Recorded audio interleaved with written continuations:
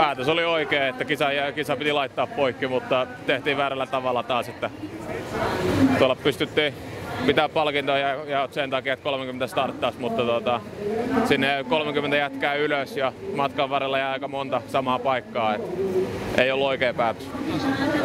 Ei, se kuuluu lajiin luonteeseen, että näitä tapahtuu koko ajan, näitä niin keski, tai siis ettei päästä laskemaan, että joskus venataan neljä asti, mutta ei se tietenkään niin kuin hauskaa on nämä kaverit vetää lipat siinä. No, että siinä on hyviä ystäviä monta ja tota, tämän hetken parhaat, kaksi parasta alppia täällä maailmassa, niin, niin tota, rinne oli niille liian vaikea, niin ei itseluottamusta ainakaan kohota, mutta siinä pitää vaan keskittyä siihen omaan suoritukseen yrittää pitää ne poissa mielestä. Ja, mutta tota, aika pettymys tämä on tietenkin, että kolmesta kisasta niin kaksi, kaksi pystyttiin laskemaan, yhdessä tuli keskeytys ja yksi oli ihan ok, mutta isolla virheillä, niin tavallaan eteenpäin mennä, että niin kuin lasku kulkee, että siitä ei ole kyse, mutta niin kuin tulokset ottaa vielä tulemista, mutta ensi viikon loppuna jatketaan Garmisissa.